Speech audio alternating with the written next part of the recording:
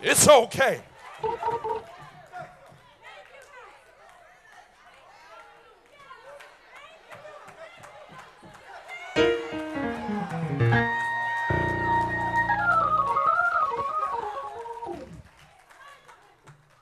David, David comes to this reality. And I, I, found it interesting, Kathy, that throughout this psalm, David is not complaining, he is not crying, he is not murmuring. In fact, he is encouraging himself. Listen to what he says. He says, Trust in the Lord and do good. He says, Delight thyself in the Lord, and he will give thee the desires of thine heart.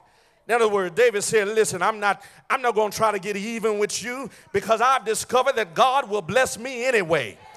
I call it an anyway blessing. Anybody ever had an anyway blessing? Where somebody tried to keep you down, but God took you anyway? Somebody closed the door in your face, but God opened it anyway?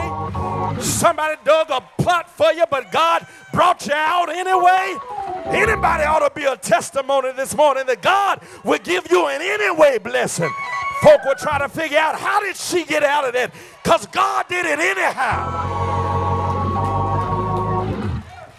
You meant it for evil, but God meant it for good, and God did it anyway. You didn't want me to prosper, but God prospered me anyway. You didn't want me to succeed, but God brought me anyway. Tell your neighbor, I know an anyway blessing. I got an anyway blessing. I got an anyway blessing. I got an anyway blessing. I know you didn't want it, but I got an anyway blessing.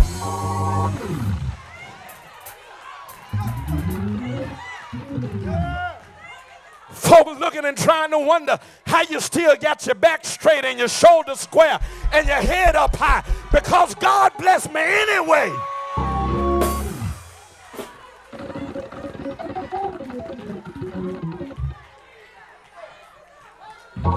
Anyway, bless you. Y'all sit down, sit down, sit down, sit down. David, David, David, David is a psalmist. And he writes a whole lot of psalms. He says, he says, he says in another one psalm, the Lord is my light and my salvation. Whom shall I fear? The Lord is the strength of my life. Of whom shall I be afraid? He said in one psalm, he said, he said, you, you, you, you prepare a table before me in the presence Y'all not gonna talk to me. God, you could have blessed me over in a corner somewhere, but you decided to bless me all out in front, in the presence of my enemies. I, I can't even act like I'm trying to cover it up, but you want them to see exactly that you'll bless me.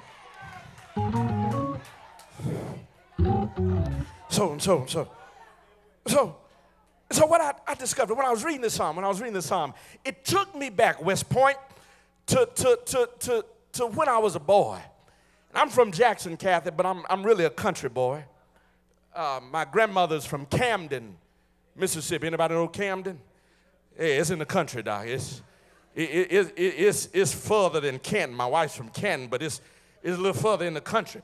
And, and when I read this psalm, it reminded me of some of the things that my old country grandmama used to tell me. And the first thing, the first thing it reminded me of that she used to tell me all the time number one, God don't like ugly. Anybody's grandmama ever tell you that? God don't like. Look, it's in the text. I'm not making it up. It's in the text. Verses 12 and 13, it says, The wicked plotteth against the just and gnasheth upon him with his teeth. The Lord shall laugh at him, for he seeth that his day is coming. Somebody say, God don't like ugly.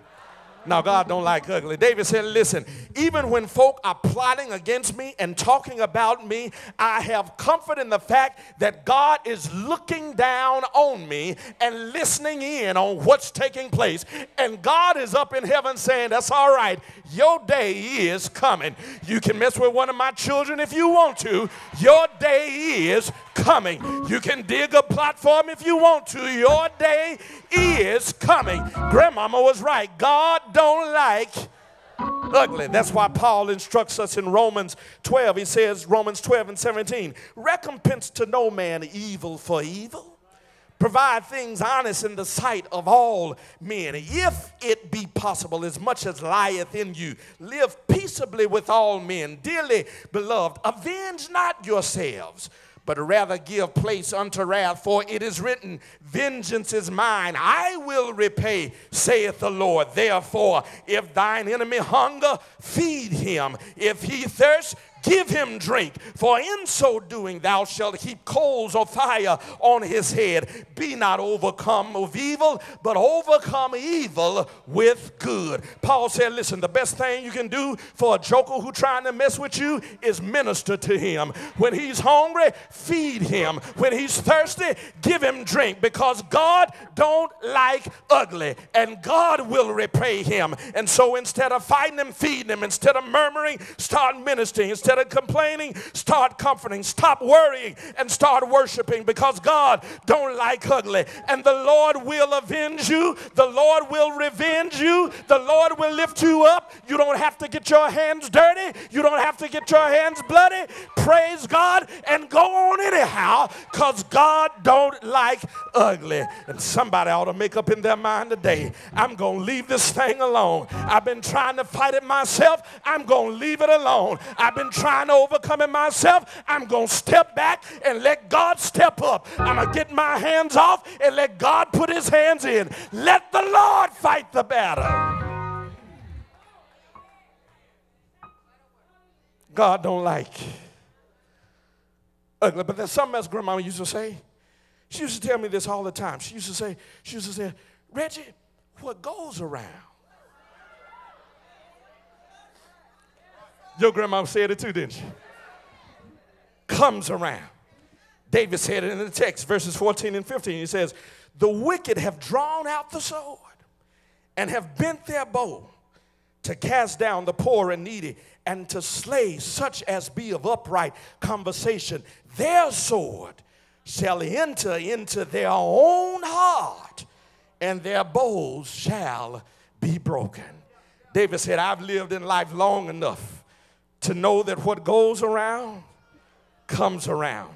The traps that people set, the ditches that people dig, the words that people use, the ways that people act, will oftentimes come right back to haunt and hurt them. And that's why you need to be careful about what you're sowing in the folks' lives. If you're sowing joy, get ready to get some joy. If you're sowing love, get ready to get some love. If you're sowing peace, get ready to receive peace. But if you're sowing hate, I need to tell somebody hate is going to come back and seek you out. If you're sowing discord, discord will come and make a bed in your house. If you're sowing anxiety and worry and animosity, get ready to be worried and anxious on your own because Paul said in Galatians 6 and 7 Be not deceived. God is not mocked. Whatsoever thou sowest, that thou shalt also reap. Psalm 7 and 15. He made a pit and digged it and is fallen into the ditch which he made his mischief shall return upon his own head, and his violent dealing shall come down upon his own plate. Because what goes around comes around.